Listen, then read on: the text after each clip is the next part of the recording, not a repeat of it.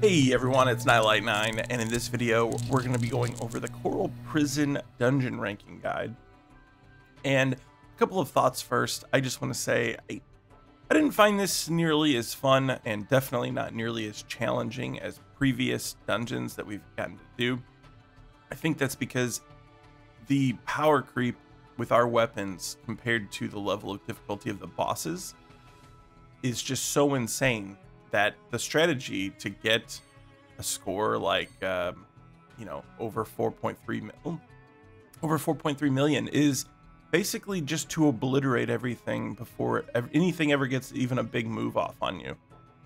Um, although you know there is a challenge in that trying to get the highest score, it, it is lost out a little bit on the individual challenge that used to make these fun, getting an S plus.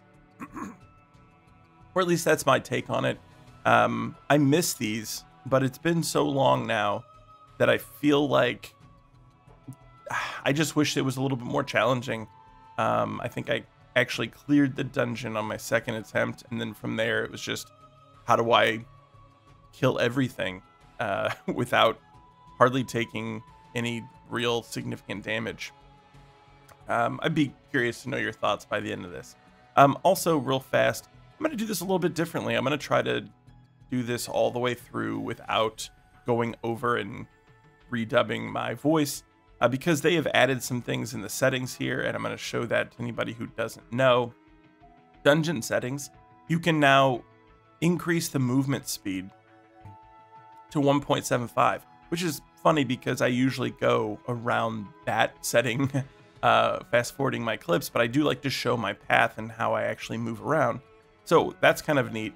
Um, as far as battle settings too, if you haven't seen or haven't adjusted these, I always put buff and debuff icon details on. Camera setting, um, I do not want this to follow because it makes battles a lot worse. Uh, and then I also have not to auto C abilities uh, in manual mode, so I have true manual mode. Okay, uh, with that being said, I will get up or get into my team setup and we're going to be doing EX. I didn't even attempt the other three because I knew this would be the one that you're going to need to have a score on. As, as far as to be competitive or to get the highest score you can. Coming over here, we'll look at the symbol enemy info.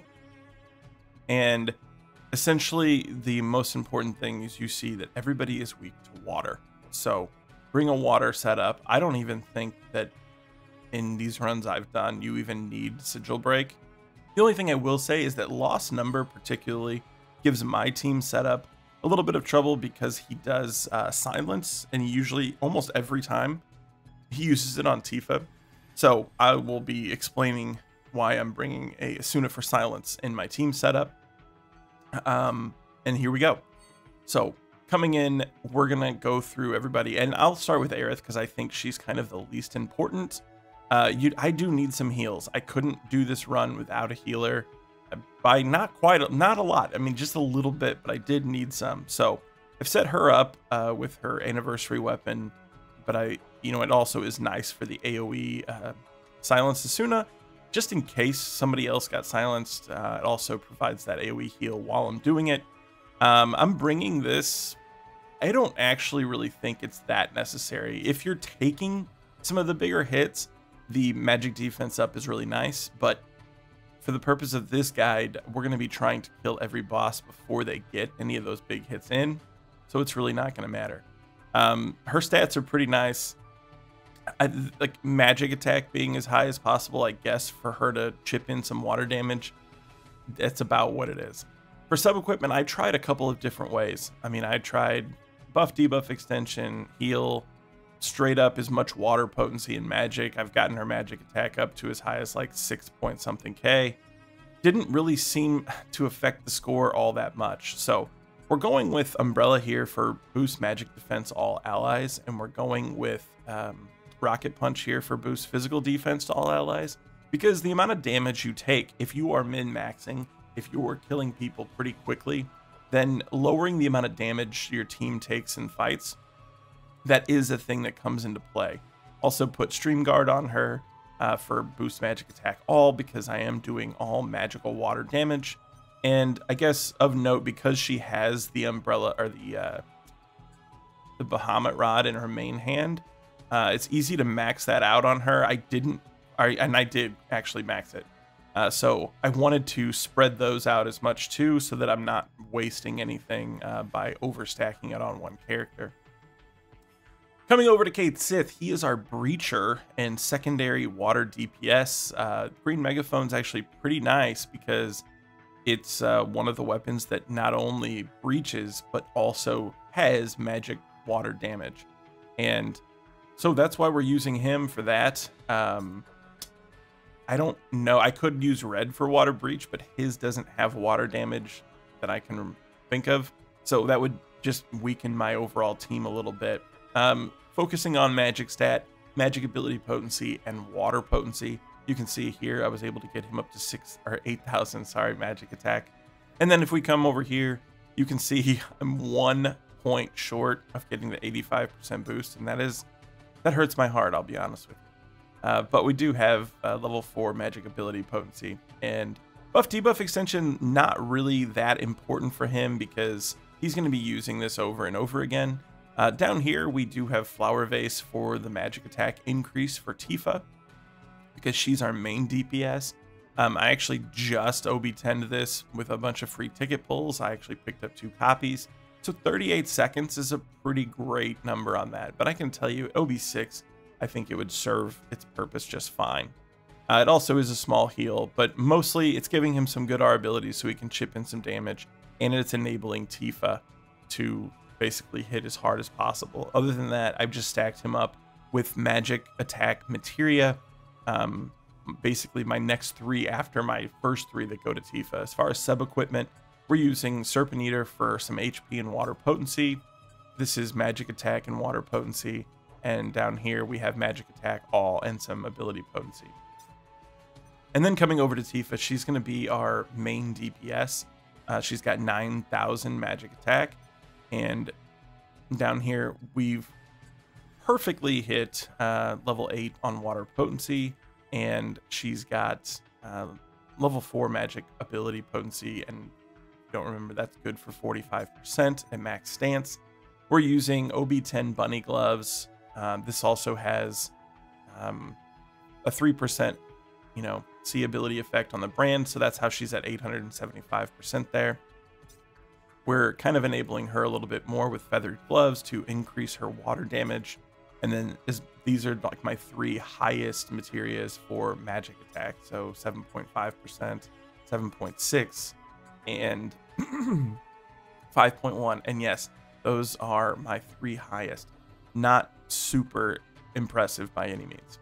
Uh, we're using Leviathan on her, and I guess I should have mentioned I'm using Moogle Dance on him for the magic attack increase to all allies.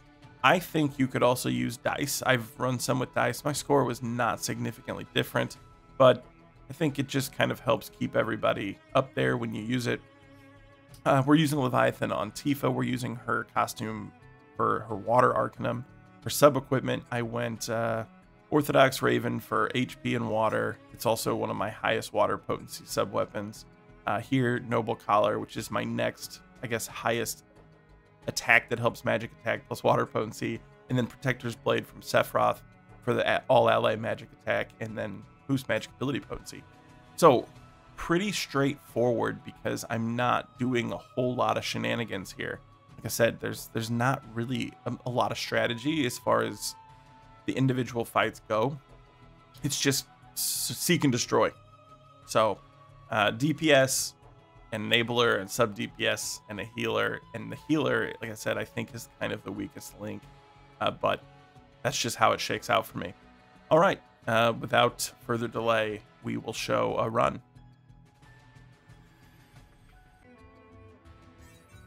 All right, so here we are. And I can tell you there's multiple different paths to take, but the one that I take I, is my favorite one especially for the particular setup that I'm using. We're going to go over here and fight the giant first. Um, I think he's just pretty simple to begin with.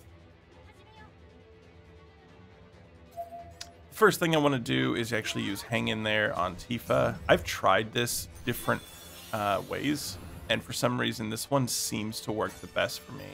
We're gonna let her ATB build up. Feather Strike, come over here, Bloom and Spray, hold your ATB, and then just start unleashing on him with everybody.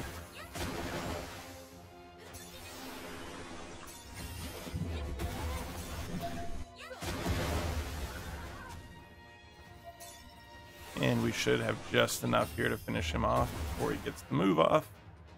Sometimes it's a, not quite that close of a call, but uh, yeah, pretty consistently. I mean, in fact, maybe the last seven, eight times in a row that I've ran this, I was able to kill him off before he got his giant swing off, which is nice because you're not taking damage. If you do take the damage, it's not the end of the world. You can easily still clear this. But for score purposes, you definitely want to take as minimal of damage as possible during these uh, fights.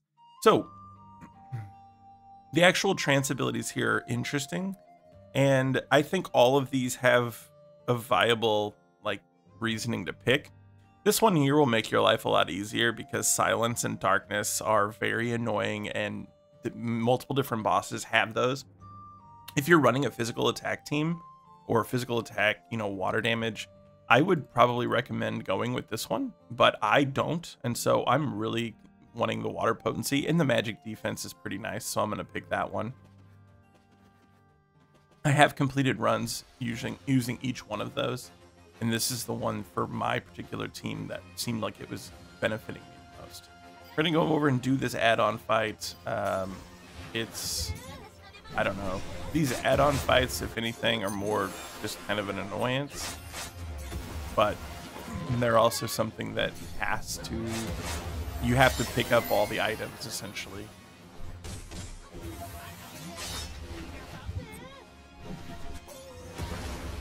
Because you want that uh, sweet, sweet unused item bonus at the end. And by the way, this run is going to be zero items. you know, there's no shame in using an item. But I think it, uh, the item score is pretty big so the best score you can possibly get is going to be typically one that uses no items if you can clear everything, obviously. All right, now we're going to come back over here and beat the, uh, I don't I can't remember if he's mole crawler or um, different name on this one. Oh, Zetant Ratel. I don't know. I maybe pronounced it correctly.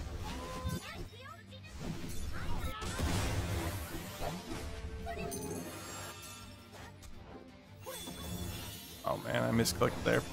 Okay, just again, once you kind of debuff the enemy and buff up your team, you're just going to try to unload and do as much damage as possible as quickly as possible.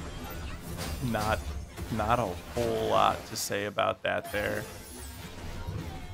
But I would try to um, preserve just a little bit of ATB on Tifa uh, for this next fight that we're going to do uh, because they will um, they will blind her and I want her to be able to get off her um, her water buff.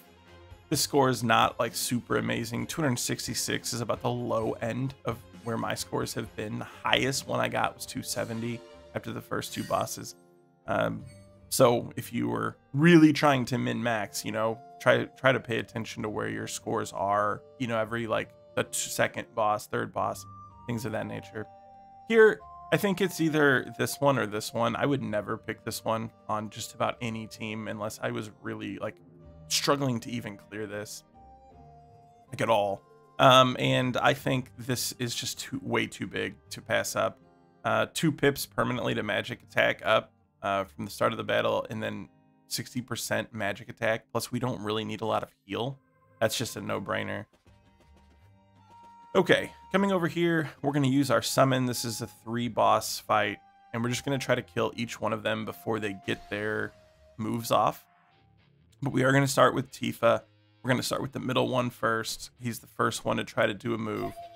Getting our Feather Strike off, just because it is very important that if she got blinded, uh, we need her to still be able to uh, do her move.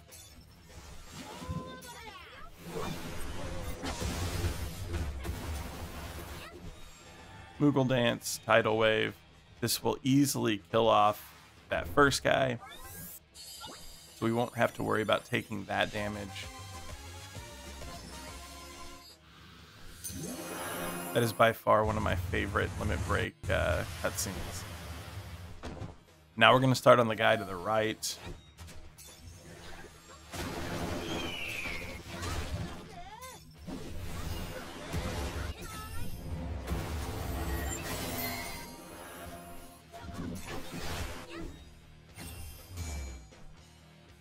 Didn't quite finish him off, which is unfortunate because we are going to take quite a bit of damage from that. And if you kill him fast enough, you actually get a, like, uh, well, if he starts his break mechanic, uh, where you have to sigil break him, if you kill him, then you get an actual boost. Oh my, my the moment that you realize your stance has been uh, depleting that whole time because your microphone was covering up the corner of your screen from your eye. Well, I guess it wouldn't be a Nitelight Dungeon ranking video if I didn't completely screw this up. Um, well, okay, that's that's what it is. So, excuse me. We're just gonna have to see what the score ends up being, even with um this bullshit. this is so bad, and um, whatever. It is what it is, you know. Um, I guess I could I could re-record this, but maybe it's a little bit funnier to watch me just uh, fail away. This is the probably the most struggle I've ever had with this battle by this point. So I'm imagining this score is going to be like 70k. Something pretty bad. And it should be up in the 130k range. Okay, 80k. Still pretty bad, uh, but this is what happens when I don't know. You try to record a video after you've flawlessly cleared this dungeon, like, I don't know, probably at this time point, like seven or eight times in a row.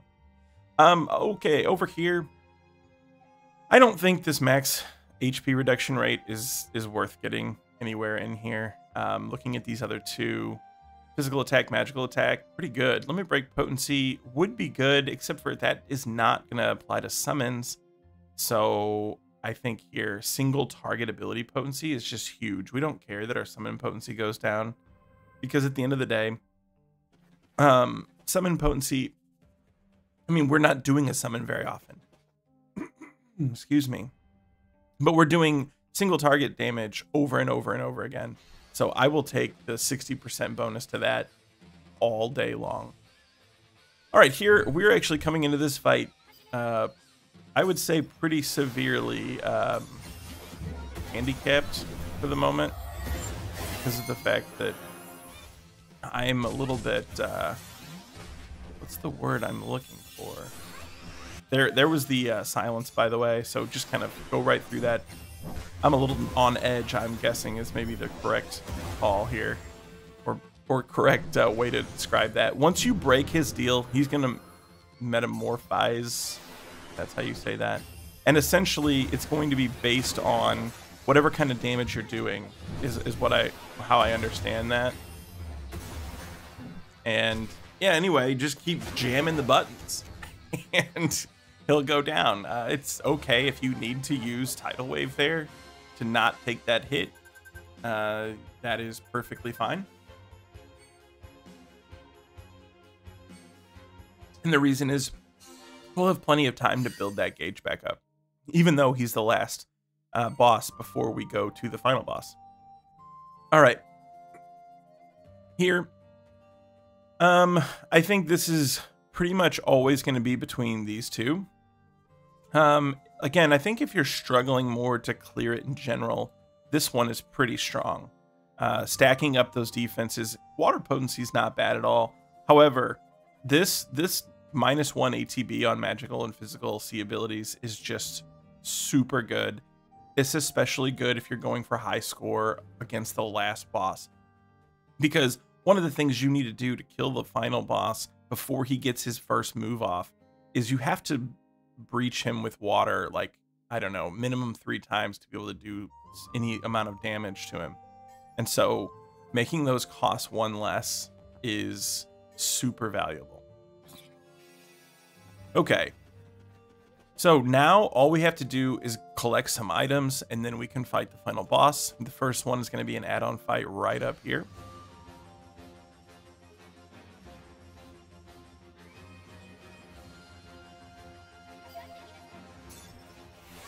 And as usual, just jam your abilities. Uh, there's not a whole lot that goes into this other than there will come a point where we do want to start kind of conserving ATB as far as to have that ready for the final boss.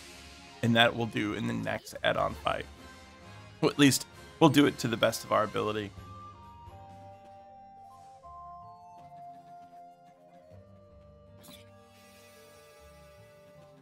All right. And again, that boss up here, that's like a distraction. That's, I mean, if you want the highest score possible, don't want to go fight that one. Down here, there's like this hidden fight, which I'm sure most of you got from the first time you were exploring around.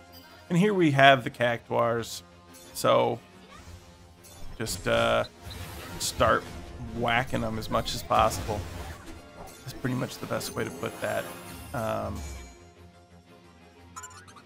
and then once we get down to, you know, a little bit less than half health on the second one, then we'll start uh, we'll start being a little more careful about how we spend ATB. I start with the A one because he is they they literally have like HP in the amounts of I guess like A is the strongest, B is the second strongest, so I think it's easiest to conserve when you know you can just wallop one.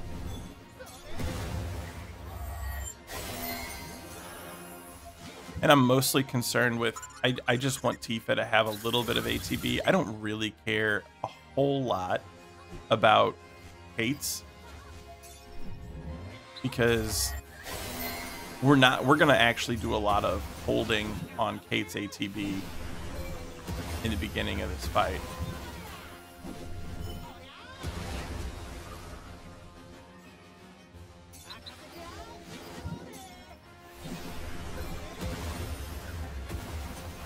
There, so we're perfect. Almost everybody has like very close to full ATB.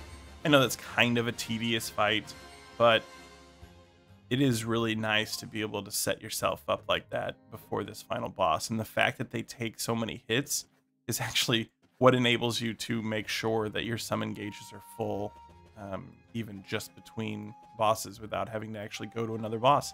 So here we've used zero items. Uh, Tifa's HP is terribly low um, but it doesn't matter. It doesn't matter. Um, I used to try just jamming a water uh, jelly or whatever it's called. Sorry. Here we are. Um, using one of these water cocktails on her, whatever. I mean, that will definitely make it go faster, but for my team setup, it's actually not necessary. We just need to make sure that we uh, debuff him, and maybe you'll see me completely shit the bed here because it's what I'm kind of known for in these dungeon ranking events. So Tifa, jam your Aqua Splash as fast as possible. And then we're just going to hold the ATB here, actually, for when he gets this done. And then we're going to start jamming it. And then we're going to come over to Tifa, Feather Strike, Aerith, buff everybody to get as much as we can out of it. And that should generally be enough. Um, after this hit here, yeah, I mean, this is going to kill him. It's just making sure you have him broken with the water enough. And when you do the hang in there first, you'll actually be waiting to be able to cast your final water breach. And that is extremely annoying and actually can make it to where I've had it to where I wasn't able to quite get enough damage in on him because it doesn't really do a lot of good if Tifa's, you know, hitting her aqua splashes, but he's still got two or three pips of water resistance up. So that is the entirety of it. 740 is quite low for me. I think my highest score was like 780 something. But when you forget to stand switch through, I don't know, for a solid 60 seconds in a battle, yeah, it's bound to happen bound to happen. But again, as I always say, you know, you can always still clear it, even with some mistakes. Uh, 4.26, It's not an amazing score by any means, but honestly, it's it's not the worst score either. So that is what we've got. And I just want to point out here, unused item bonus 1.146 mil.